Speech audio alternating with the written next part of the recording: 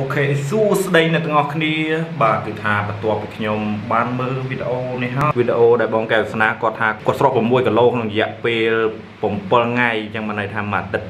អឺក្នុងនោះគាត់បានណែនាំយើងឲ្យវាវាមានច្រើនដែរតែខ្ញុំចាំមិនថា ណែនាំឲ្យយើងតមហាកំហុបរបស់ណាដែលមានខ្លាញ់ច្រើនគាត់ឲ្យយើងហូបបន្លែកាត់បន្ថយបាយហើយខ្ញុំក៏កាត់បន្ថយបាយដែរចាប់ពីពេលនេះទៅខ្ញុំនឹងព្យាយាមដើម្បីសម្រក់គីឡូរបស់ខ្ញុំគឺគីឡូរបស់ខ្ញុំដល់តែ85 86គីឡូឥឡូវខ្ញុំចាប់ផ្ដើមធ្វើលំហាត់ប្រាណគឺដែលគាត់និយាយអញ្ចឹងបាទហើយណាមួយទៀតខ្ញុំបានសាកល្បងទិញ ស្អី skin 7 7 day fiber collagen ខ្ញុំទិញយកមកសាកមើលតើវានឹងស្រកឬអត់ខ្ញុំនឹងហូបវានៅថ្ងៃទី1ថ្ងៃនេះហើយអូខេអ្នកទាំងអស់គ្នាបើសិនជាខ្ញុំស្រកគីឡូក្នុងរយៈពេល7ថ្ងៃដោយតែវីដេអូរបស់គាត់មែនខ្ញុំនឹងហៅលោកគ្រូកែវវាសនាថាលោកគ្រូបាទហៅថាលោកគ្រូតែម្ដង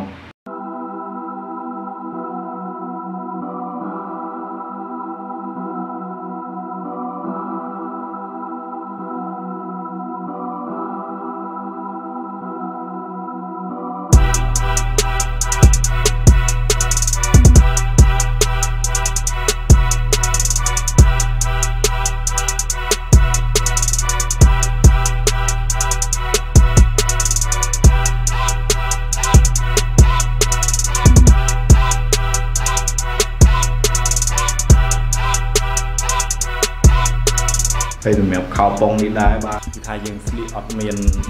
ស្លៀកអូទេ បាទគឺចេះមកពីបងប្រុសរបស់ខ្ញុំមកបងពៅនេះបងបងមុខចេះគាត់គាត់ថាជីចឹងបានលហើយលហើយរបស់គេមែនទទួលស្គាល់លហើយរបស់គេមែនអូខេអ្នកទាំងអស់គ្នាឥឡូវខ្ញុំចាប់ផ្ដើមហូប collagen skin 7នេះលើកដំបូងតែម្ដងអានេះគឺជាកែវកែវកែវ skin 7មកអានេះគឺជា skin 7 fiber ឥឡូវខ្ញុំ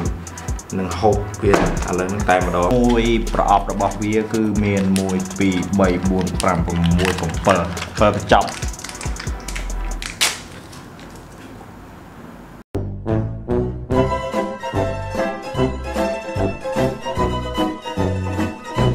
Oh my fucking god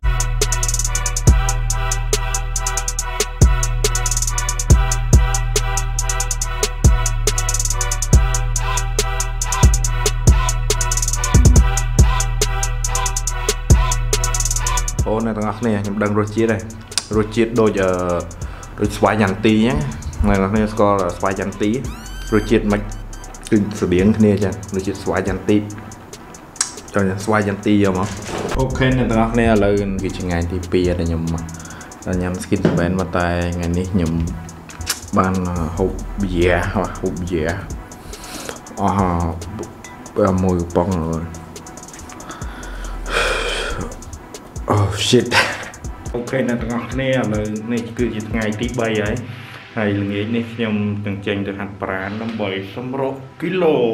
OK OK អ្នកទាំងអស់គ្នាឥឡូវបានចេញមកហាត់ប្រាណហើយហើយខ្ញុំកំពុងតែនៅតាមផ្លូវខ្ញុំជិះកង់មកពីឃ្លាំងលើខ្ញុំមកមកលេងនៅចុងអូត្រេសចុងអូត្រេសនៅខាងមុខឥឡូវកំពុងចាំបងបងនៅក្រោយគាត់រៀងធាត់រៀងធាត់យូរជាងខ្ញុំតិច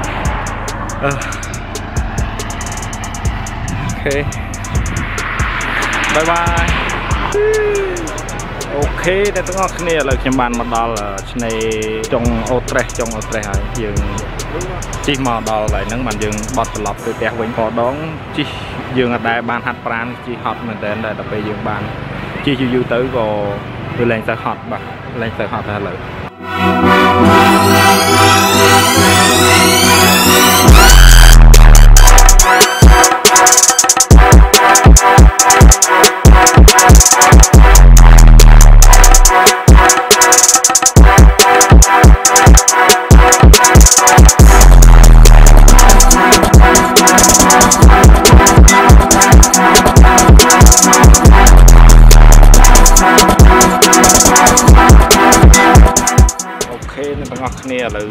បានសម្រាប់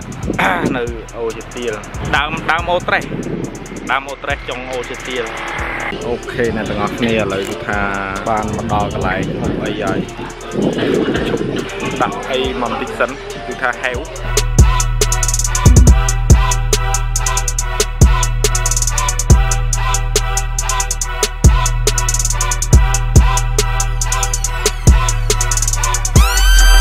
គ្នា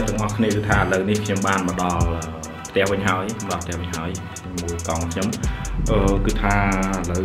សុខភាពអឺវាល្អជាងមុនរឹងមាំជាងមុនចង់និយាយថាយើង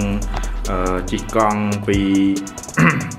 អឺជីកកង់ពីចុងអូជាទៀលចុងអូជាទៀលមកឃ្លាំងលើបាទជីអត់ឈប់ទេហើយអ្វីដែលពិសេសនោះគឺខ្ញុំជិះឡើងភ្នំមកឡើងភ្នំ ដឹងស្រាប់ហើយយើងនៅលើឃ្លាំងលើគឺនៅលើភ្នំហើយអឺពីពីខាងក្រោមមកឡើងមកលើហ្នឹងគឺចំណោតមែនតែនបាទហើយយើងជិះអត់ឈប់ទេបាទអ្នកទាំងអស់គ្នាខ្ញុំអត់បានបញ្ជាក់គីឡូភេទមកទាំងអស់គ្នាទេដោយសារតែខ្ញុំព្រឹកអស់មួយអាទិត្យហើយគឺដល់ថ្ងៃភ្ជុំបិណ្ឌតែម្ដងបាទអ្នកទាំងអស់គ្នាគួរយល់តាមហ្នឹងហើយបាច់ខ្ញុំ